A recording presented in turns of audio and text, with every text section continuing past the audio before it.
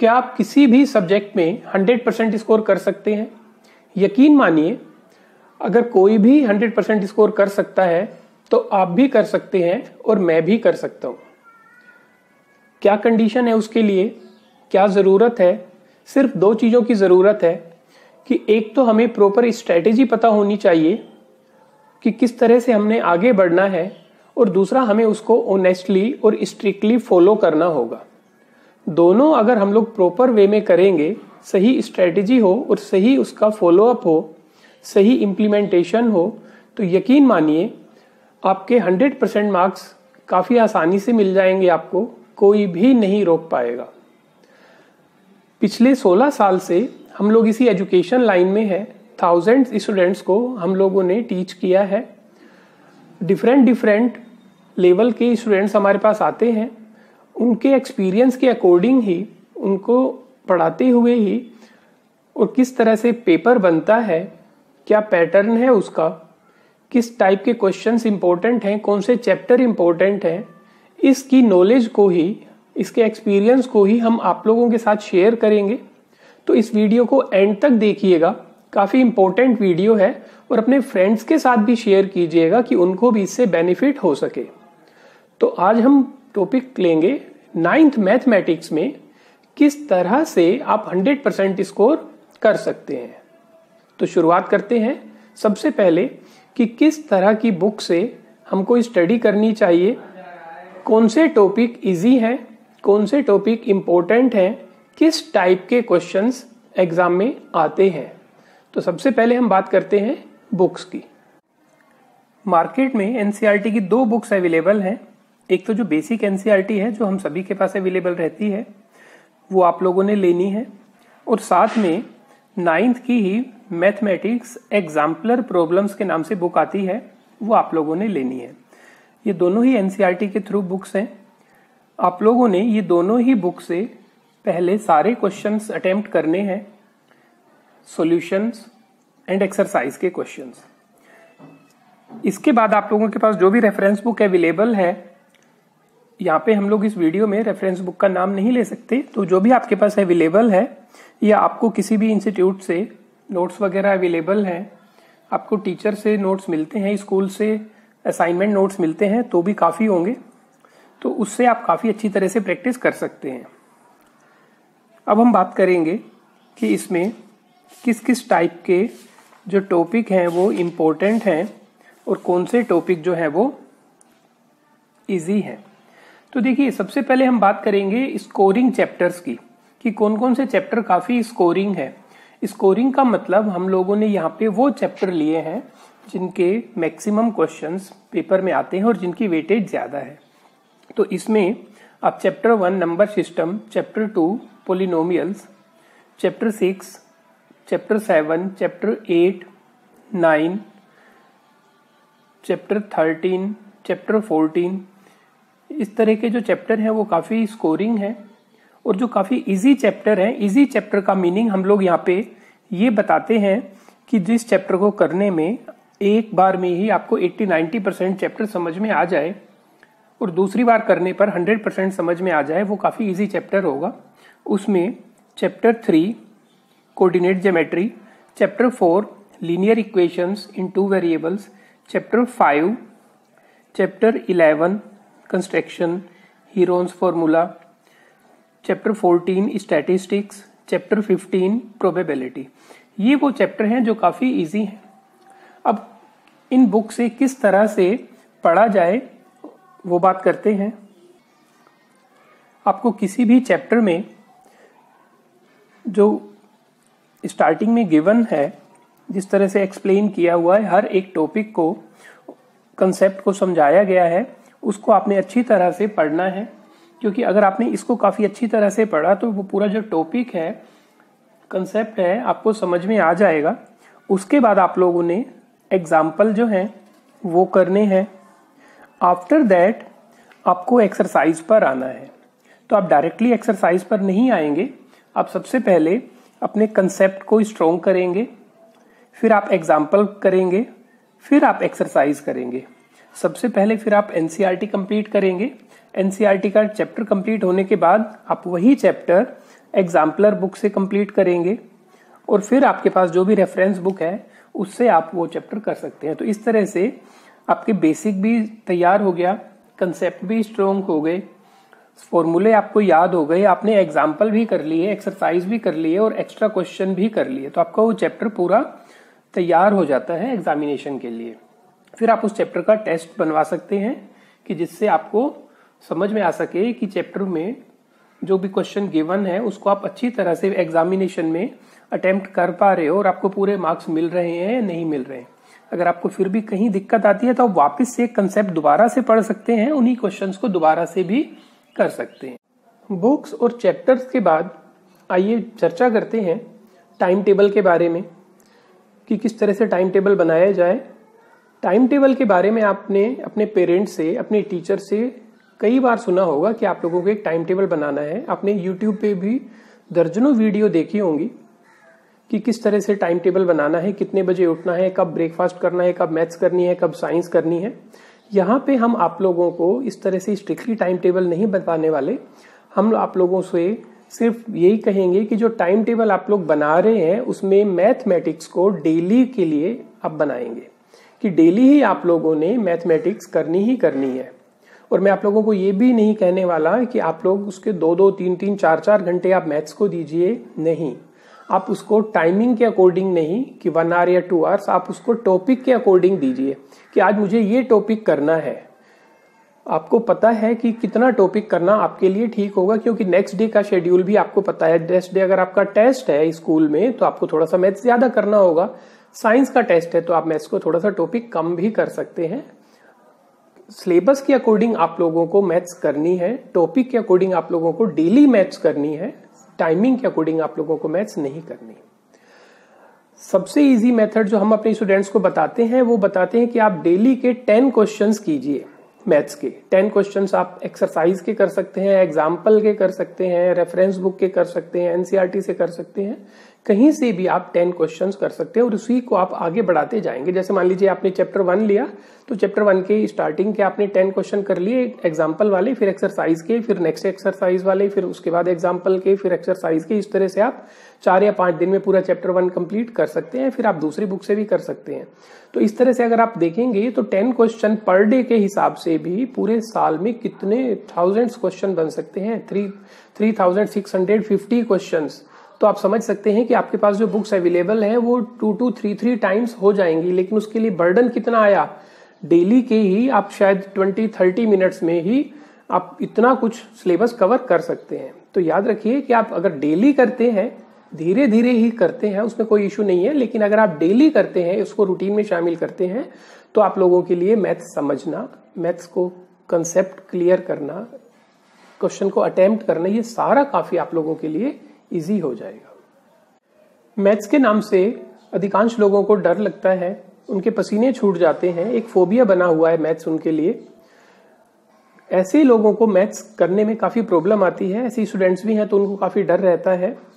तो अगर हम ये बोले कि तनाव रहित माहौल में पढ़ाई करें, टेंशन ना लें तो ये कहना काफ़ी आसान है, लेकिन प्रैक्टिकली काफ़ी मुश्किल है। तो उसके लिए हमें इस बात का ध्यान रखना होगा कि आपका जो पास्ट है आपकी पिछली क्लासेस हैं, उनमें मैथ्स का कोई भी रिज़ल्ट रहा हो, उसमें आप इम्प्रूवमेंट नहीं कर सकते। आप फ्यूचर के बारे में ज़्यादा सोचेंगे, तब भी आप इतना इम्प्रूवमेंट नहीं कर पाएँगे। इम्प्रूवमेंट कब होगा? जब आप प्रेजेंट में कुछ करेंगे। तो पिछला और जो नेक्स्ट वाला है, उसमें ज़्यादा कुछ ना सोचते हुए अगर आप प्रेजेंट के बारे में ही सोचेंगे कि हाँ मुझे इसको सही तरीके से करना है जो हो गया सो हो गया। अगर मैं आज सही करूँगा तो आने वाला कल भी मेरा सही होगा। अगर मैं आज मैथ्स को अच्छी तरह से करूँगा तो धीरे धीरे मैथ्स मेरे लिए इजी बन जाएगा। और जो फ्यूचर में मेरी मैथ्स है, वो भी काफ़ी स्ट्रांग बन जाएगी, क्योंकि मैंने आज प्रेजेंट में उसके लिए काफ़ी मेहनत की है। तो सबसे पहला काम, आपको तनाव रहित माहौल में अपनी स्टडी करनी पड़ेगी। तनाव रहित माहौल में एक तो बच्चे का जो माइंड सेट है, वो मैंने आपको बताया। दूसरा ये है, जो फैमिली का एनवायरमेंट है, वो भी कि कई बार क्या होता है कि आपके पास एक ऐसा टाइमिंग होता है, जब आपके पास पूरे फैमिली में काफ़ी मेंबर घर पे ही रहते हैं और कुछ ऐसा टाइम रहता है, जब उनमें से काफ़ी कुछ अपने जॉब्स वगैरह पे, अपने ऑफ़िस वगैरह चले जाते हैं, लेकिन अगर आप घर पे हैं तो आप उस टाइम पे काफ़ी अच्छी तरह से अपनी मैथ्स की पढ़ाई कर सकते हैं। तो ये आप पे डिपेंड करता है कि आप किस टाइम पे अपना एक शेड्यूल बनाते हैं और किस टाइम पे अपने आप को टेंशन फ्री रखते हुए अपनी मैथ्स की स्टडी करते हैं। तो सबसे पहला काम आपका तनाव रहित पढ़ाई करनी होगी कि जिसमें आपको कोई भी टेंशन ना रहे। उसके लिए बहुत सारे तरीके हैं कि आप पहले डीप ब्रीथ एक्सरसाइज कर सकते हैं योगा मेडिटेशन वगैरह ये भी कर सकते हैं। वो एक बात की बात है, लेकिन सबसे पहले जो इंपॉर्टेंट है वो आपका माइंड सेट है कि आप उससे पिछली सारी बातें हटा दीजिए नेक्स्ट फ्यूचर की सारी बातें के बारे में सोचना बंद कर दीजिए, सिर्फ़ प्रेजेंट में ही रहिए कि आज अगर मेरा अच्छा होगा, आज अगर मैं मैथ पे फोकस करूँगा, मैं ज़्यादा टाइम दूँगा, मैं ज़्यादा क्वेश्चन करूँगा तो मेरे चांसेस हैं कि मेरा फ्यूचर में जो मैथ्स होगा, वो काफ़ी स्ट्रांग होगा। इसको आप मैथ्स में एक प्रोबेबिलिटी के थ्रू भी कर सकते हैं कि आज अगर हम ज़्यादा से ज़्यादा क्वेश्चन अटेम्प्ट कर रहे हैं, ज़्यादा मेहनत कर रहे हैं तो हमारा जो रिज़ल्ट होगा, वो भी ज़्यादा फ्रूटफुल होगा।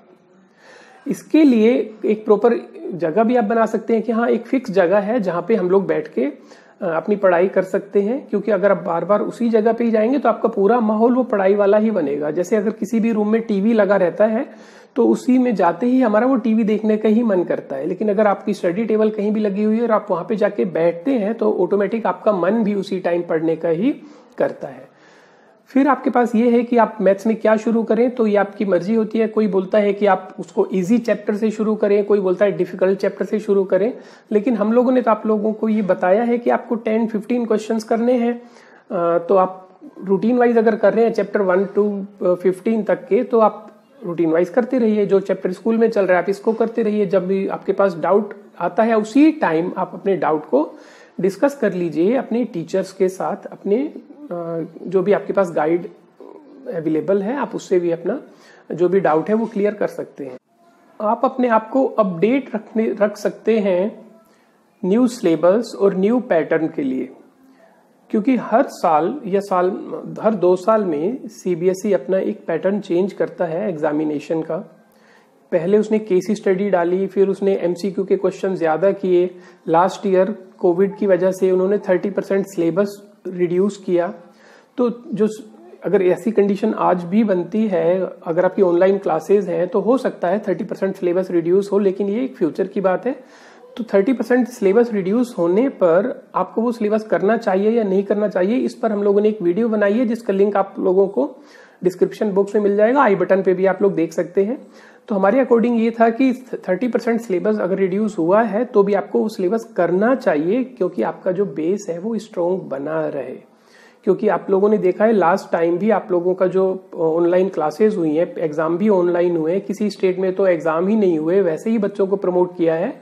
तो उसमें भी अगर आप इस क्लास में भी थर्टी परसेंट सिलेबस रिड्यूस करवा देते हैं तो टेंथ क्लास में ये देखिए आपका एट्थ भी किस हालत में हुआ है? नाइन्थ में भी अगर आप थर्टी परसेंट सिलेबस रिड्यूस करा देंगे तो टेंथ के लिए जो आपका बेस बनेगा, वो कितना वीक बनेगा?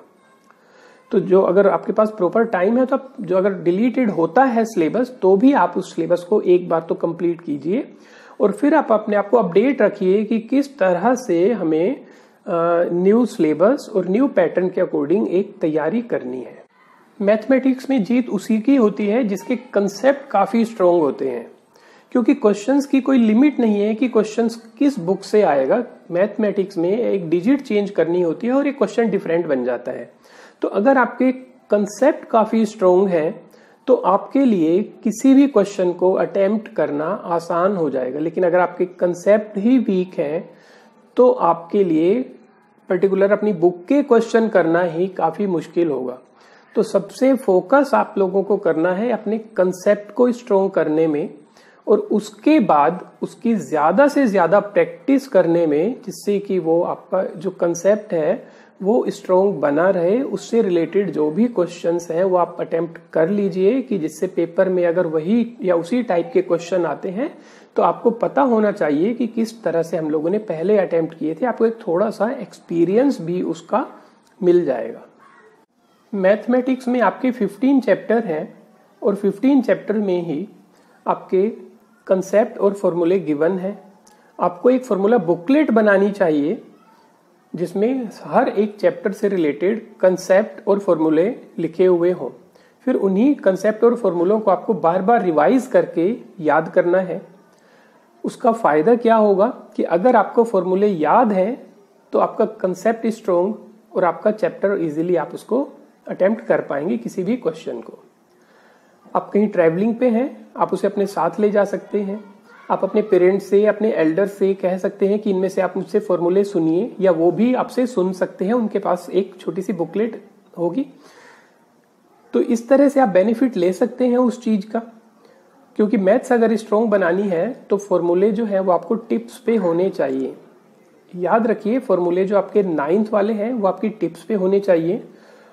और नाइन्थ से पहले वाली क्लासेस में जो भी आपने स्टडी किए हैं, चाहे वो एट्थ में हो सेवन्थ में हो सिक्स में हो, वो भी आपकी टिप्स में होने चाहिए। तो अप टू नाइन्थ क्लासेस जो भी फॉर्मूले हैं, वो आपकी टिप्स पे होने चाहिए, क्योंकि जो क्वेश्चन है मैथ्स के, वो कोई अनलिमिटेड क्वेश्चन हैं। उसमें आपको ज़रूरी नहीं है कि नाइन्थ वाले में एट्थ का जो कंसेप्ट है, वो एप्लीकेबल नहीं होगा या सेवन्थ का एप्लीकेबल नहीं होगा। तो आपका अगर वो स्ट्रोंग है तो आपके लिए नाइन्थ ईजी है। तो इसको आप बेनिफिट ले सकते हैं। एक छोटी सी फॉर्मूला बुकलेट बनाने में। ज़्यादा समय भी इसमें नहीं लगेगा। आप अगर थोड़ा थोड़ा टाइम भी देंगे तो दो या तीन दिन में वो फॉर्मूला बुकलेट इजीली बन जाएगी। तो उसका बेनिफिट लीजिए और एक फॉर्मूला बुकलेट ज़रूर बनाइए। अब हम बात करते हैं डाउट्स की। अधिकतर स्टूडेंट्स क्वेश्चन अटेम्प्ट करते हुए जो भी डाउट्स होंगे, उनको मेंशन ही नहीं करते टिक ही नहीं करते और आगे बढ़ते जाते हैं। और कुछ टाइम बाद, कुछ दिनों बाद, वो जो डाउट्स हैं, वो इकट्ठे होके ट्वेंटी थर्टी फोर्टी डाउट्स हो जाते हैं। और जिसकी वजह से आगे के जो क्वेश्चन है, उनको भी उसको करने में प्रॉब्लम आती है। तो आप कोशिश कीजिए कि जो भी डाउट है, आप ऑन द स्पॉट क्लियर कीजिए या सेम डे क्लियर कीजिए। लेकिन हर एक एक्सरसाइज में उसके पेज पे ही आप पेंसिल से मेंशन ज़रूर कर लीजिए कि कौन कौन से आपके डाउट हैं। डाउट क्वेश्चन नंबर आप लिख सकते हैं और उसके बाद जैसे ही आपके डाउट क्लियर हुए तो उसी क्वेश्चन को आप, क्वेश्चन नंबर लिखे हुए को आप क्रॉस कर दीजिए पेंसिल से ही तो आपको पता लग जाएगा कि हमारे ये डाउट थे और ये क्लियर हो चुके हैं। डाउट को इकट्ठा ना करें कि एक साथ ही सारे डाउट हम तीस, चालीस, पचास डाउट इकट्ठे कर लेते हैं और एक बार ही टीचर से पूछ लेंगे। इतने डाउट कोई भी टीचर बताने के लिए अवेलेबल नहीं होगा कि आप 50 क्वेश्चन लेके जाएँ और वो डाउट 50 के 50 को ऑन द स्पॉट आपको बता सके।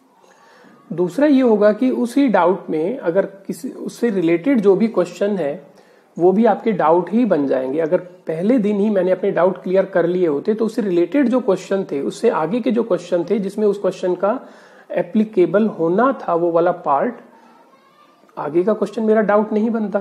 तो कोशिश कीजिए कि आपके जो डाउट हैं, उनको ऑन द स्पॉट या सेम डे ही आप क्लियर कीजिए और जो आपके डाउट हैं, उनको मेंशन ज़रूर कीजिए, कहीं न कहीं नोट करके ज़रूर लिखिए कि कहाँ पे आपके डाउट हैं और वो क्लियर हुए या नहीं, इसका भी आपके पास इंडिकेशन होना चाहिए। अधिकतर स्टूडेंट्स अपनी बुक से चैप्टर कंप्लीट करने के बाद नेक्स्ट चैप्टर की तरफ़ बढ़ जाते हैं। चैप्टर्स पे चैप्टर्स करते जाएँगे, लेकिन आगे बढ़ते जाएँगे और पिछला वो भूलते हुए भी जाएँगे। पिछले चैप्टर्स में क्या था वो उनको याद नहीं होगा। और कहा उन्होंने मिस्टेक की थी, वो भी उनको नहीं पता होगा। तो हर चैप्टर्स के बाद या कुछ टाइम ड्यूरेशन के बाद वीकली या आफ्टर टेन डेज़ अपने लिए एक चैप्टर का टेस्ट ज़रूर रखवाएँ। आप खुद बना सकते हैं, अपने एल्डर से बनवा सकते हैं पेरेंट से बनवा सकते हैं ट्यूशन टीचर से बनवा सकते हैं। ज़रूरी है अपने आप को जज करना कि हम किस लेवल तक हैं। अगर हम ये पता लगा सकें कि हम इस चैप्टर को अच्छी तरह से कर पा रहे हैं या इन क्वेश्चंस में हमें अटक रहे हैं प्रॉब्लम आ रही है, जितनी जल्दी आप इसको सॉर्ट आउट करेंगे, उतनी ही जल्दी आपका इम्प्रूवमेंट शुरू होगा। ये तो हुए स्टार्टिंग के चैप्टर वाइज की बात। जब आपका सिलेबस कंप्लीट हो जाता है फाइनल एग्ज़ाम से पहले या आपके जो एस ए वन है हाफ़ ईयरली से पहले, जितना भी सिलेबस है, उस सिलेबस का न्यू पैटर्न के अकॉर्डिंग भी टेस्ट सीरीज़ आपको अटेम्प्ट करनी चाहिए। मार्केट में अगर बुक्स अवेलेबल हैं तो आप वहाँ से भी अरेंज कर सकते हैं, ट्यूशन से आप अरेंज कर सकते हैं। अपने लिए किसी एल्डर से बनवा लीजिए उतने फुल सिलेबस का। लेकिन याद रखिए, उसमें न्यू पैटर्न का सिलेबस होना बहुत ज़रूरी है। क्योंकि अगर आप पुराने तरीके से बनवाते जाएँगे और पेपर में आपको नए पैटर्न के अकॉर्डिंग मिलेगा, जैसे मान लीजिए आप सिंपल क्वेश्चन बनाते रहे और वहाँ पे आपको एमसीक्यू मिले, यहाँ पे आप केसी स्टडी को आपने टच ही नहीं किया, वहाँ पे पेपर में आपको केसी स्टडी वाले क्वेश्चन मिले तो न्यू पैटर्न के अकॉर्डिंग जो भी आपका नया सिलेबस है, उसको पूरे को ही आप काम में लेके एक अपने लिए एक टेस्ट सीरीज़ अरेंज करवा सकते हैं।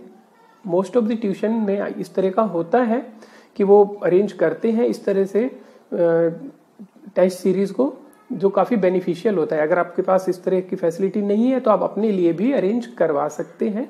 आप अपने एल्डर से, अपने पेरेंट्स से इस तरह का एक बनवा सकते हैं कि हमारे लिए क्वेश्चन पेपर आप बना दीजिए, आप उसको अटेम्प्ट कीजिए प्रॉपर उतने ही टाइम में, उसको चेक करवाइए, जहाँ पे मिस्टेक है, उसको आप दोबारा से उस क्वेश्चन को करिए, आपके जो एरर हैं, उनको खत्म कीजिए, जिससे आपका इम्प्रूवमेंट हो सके। जब आप सही तरीके से एग्ज़ाम की प्रिपरेशन कर लेंगे तो उसके बाद सेकंड पार्ट स्टार्ट होता है आपका एग्जामिनेशन के टाइम में, जब आप एग्जामिनेशन रूम में है।